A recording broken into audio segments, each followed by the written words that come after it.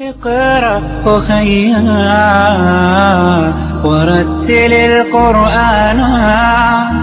اصبح بصوتك اسمع الأكوان. اقرأ كلام الله.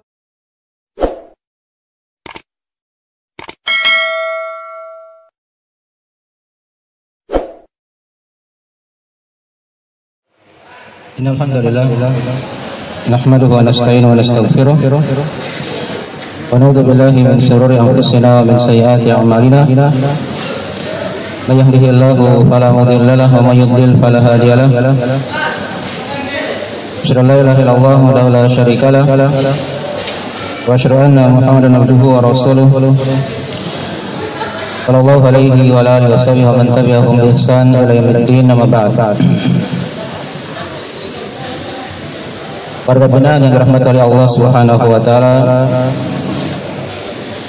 Para orang tua kami atau para saudara kami yang dirahmati oleh Allah Subhanahu wa taala. Pada pagi hari ini alhamdulillah kita bersyukur kepada Allah Subhanahu wa taala yang memberikan kepada kita kemudahan-kemudahan untuk berada di majelis-majelis ilmu dari taman-taman surga yang kita harapkan Allah Subhanahu wa taala memberikan kepada kita dari hidayah dan taufiknya.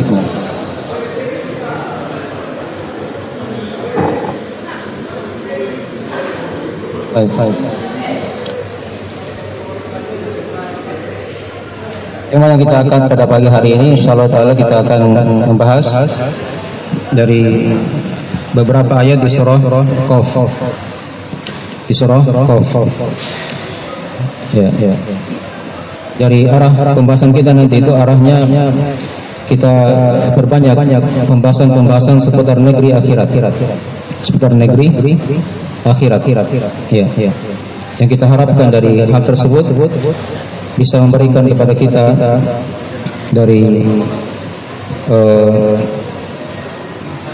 takut kepada Allah Subhanahu wa taala. Yang dengannya kita harapkan Allah Subhanahu wa taala memberikan kepada kita surganya. Karena diterangkan dalam Al-Qur'anul Karim bagi siapa yang takut kepada kepada Allah maka dia akan mendapatkan dua surga. Waliman khafa maqama rabbih jannatan dan bagi siapa yang takut kepada makam kepada kedudukan Robnya maka dia akan mendapatkan dua surga maka dia akan mendapatkan dua dua surga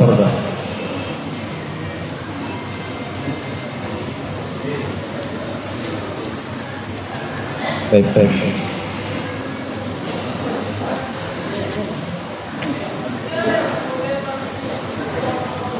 Ya, ayat yang kita akan baca adalah ayat di surah Qaf. Diterangkan oleh Allah Subhanahu wa taala dalam Al-Qur'anul Karim. Wa nazzalna minas sama'i ma'an mubarakan fa'ambatna bihi jannati wa habbal hasid. Wan nakhla basiqatin laha tal'un nadid.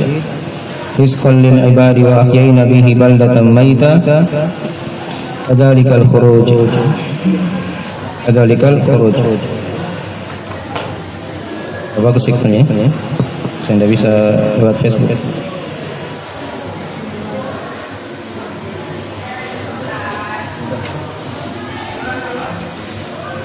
Bentar ya. Bentar ya.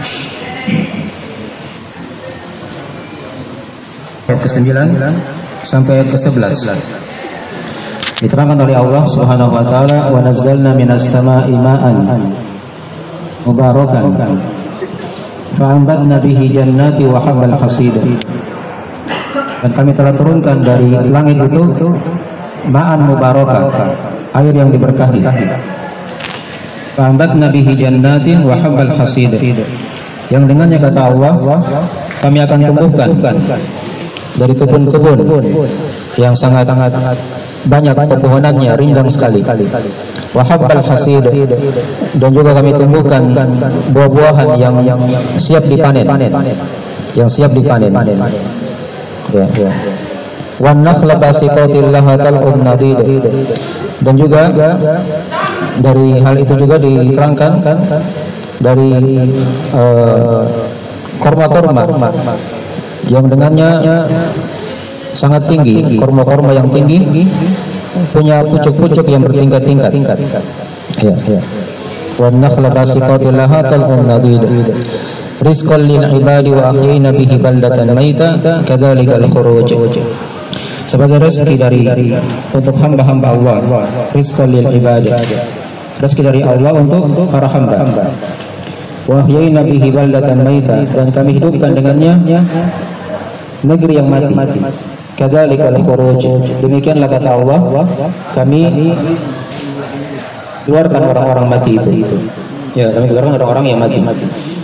Maka diterangkan dalam ayat ini ya, ya dari ayat yang pertama dari pelajaran tadi. Baik. Baik terdapat padanya dari fungsi hujan itu. Dari fungsi hujan. Diterangkan oleh Allah Subhanahu wa taala wa nazzalna minas sama'i ma'an mubarakan dan kami tumbuhkan kami turunkan dari uh, air. Wa nazzalna minas sama'i ma'an. Dan kami turunkan kata Allah dari langit itu air. Air ya, ya. yang diberkahi. Jadi hujan ya. Yang kita lihat. Itu merupakan air yang diberkahi oleh Allah Subhanahu wa taala.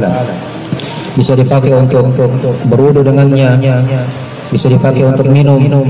Ya, ya. untuk kehidupan manusia.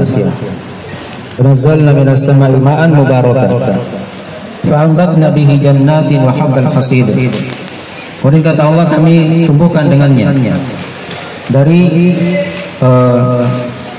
kebun-kebun. Uh, wa habbal hasid dan juga dari uh, buah-buahan yang siap dipanen. Ini dari fungsi hujan di antaranya untuk menumbuhkan apa? Tanaman-tanaman. Kemudian nakhla basiqatil laha. Kalau tumbukan juga di sana ada korma-korma yang mempunyai dari pucuk-pucuk yang bertingkat-tingkat dari korma-korma yang tinggi yang punya pucuk-pucuk yang bertingkat-tingkat wan nakhla basiqatil laha talqun nadid rizqan lil ibad sebagai rezeki untuk para hamba jadi semua dari manfaat hujan tadi itu sebagai rezeki untuk kita. Adanya tanaman yang tumbuh dari kebun-kebun, dari buah-buahan yang siap dipanen untuk dimakan. Dan ada diterangkan oleh Allah di antara jenis pohon yang punya buah yang sangat indah yaitu korma. Ya, ya. Wan nakhla basiqatil lahatal nadid. Rizqan lil ibadi wa ahyayna bihi baldatan maita kadzalikal khuruj sebagai rezeki kata Allah untuk para hamba. Ya. Kadzalika nukhrija rizqan lil ibadi wa ahyayna bihi baldatan mayta. Yang dengannya kata Allah, kami hidupkan bumi yang mati. Jadi buminya tadi itu ini fungsi hujan yang lain lagi ya. Diterangkan oleh Allah untuk menumbuhkan tanaman, kebun-kebun, ya pohon-pohon, Kemudian di antara fungsi hujan lagi diterangkan, kami hidupkan dengannya bumi yang mati. Ya. Jadi bumi yang besar ini bisa dihidupkan oleh Allah dengan mudah. Dengan diturunkan hujan dari langit. Maka diterangkan di akhir ayat, kadzalikal khuruj. Ya, demikianlah kata Allah. Kami keluarkan ya, manusia dari kubur-kuburnya. Di pembahasan kita pada pagi hari ini kita fokus pada masalah kebangkitan setelah kematian. Ya. Jadi kita ini kan sekarang berada di alam dunia. Alam dunia ini kan alam yang kedua atau bisa dikatakan alam yang ketiga dari proses kehidupan kita di alam semesta ini. Jadi pertama itu ada namanya alam ruh alam alam alam ruh. Ya. Sebelum kita lahir di muka bumi ini, itu kita hidup di alam ruh. Allah Subhanahu wa taala berfirman terangkan dalam Al-Qur'anul Karim, "Hal ata 'alal insani hinun min ad-dahri lam yakun syai'an madhkura."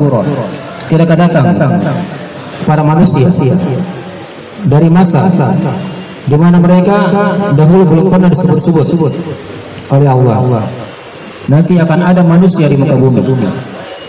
Dan Allah sudah ada pada waktu itu. Belum disebut-sebut nanti ada yang namanya manusia. Ya. Kemudian Allah ciptakan langit dan bumi. Allah ciptakan Nabi Adam alaihissalam sehingga dari situlah manusia itu apa? Berkembang semakin banyak. Itu alam yang pertama. Kemudian alam yang kedua ada yang namanya alam kandungan. Ya, kita semuanya dari rahim seorang ibu. Siapa pun kita. Ya, baik yang tinggal di sini, yang tinggal di luar sana, dia pejabat ataupun rakyat, orang kaya ataupun orang miskin, muslim ataupun kafir, sama semuanya. Dia keluar dari rahim seorang ibu. Itu namanya alam kandungan. Kita tinggal di situ sekitar 9 bulan atau lebih atau kurang daripada itu. Kemudian yang ketiga ada namanya alam dunia. Kita dikeluarkan dari Allah. Setelah di alam kandungan kita keluar di muka bumi ini. Iya. Wallahu akhrajakum min butuni ummahatikum la ta'lamuna syai'a. Allah yang telah keluarkan kalian dari perut ibu-ibu kalian. La ta'lamuna syai'a. Kalian tidak tahu apa-apa. Jadi kita keluar dari muka bumi ini tidak tahu apa-apa. Tidak tahu apa itu ilmu. Kita tidak tahu nanti akan bahagia atau sengsara nanti. Ya, ya. Kita tidak tahu takdir kita. Ke mana nanti kita akan kembali? Apakah di surga atau di neraka? Yang penting kita tidak tahu apa-apa.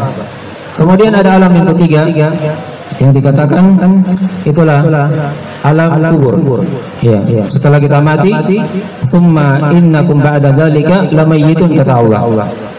Setelah itu kalian akan mati. Dan setelah kematian ada namanya alam kebangkitan. Itu alam yang kelima, yaitu alam akhirat. Summa innakum yaumal qiyamati tub'atsun. Kemudian setelah alam kebangkitan itu, kalian akan dibangkitkan oleh Allah Subhanahu wa taala. Ya, dibangkitkan oleh Allah Subhanahu wa taala. Maka ini yang namanya alam dunia. Ya, dunia ini tempat kita beramal. Kita mencari bekal. Ya, tepat yang menentukan kita nanti pada hari kiamat apakah kita berhasil selamat atau sengsara. Dunia ini tempatnya. Maka di dunia ini kita belajar. Ya semampu kita kita pelajari agama Allah.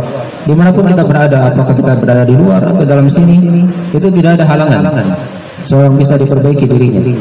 Dia perbaiki apa? Dirinya. Dan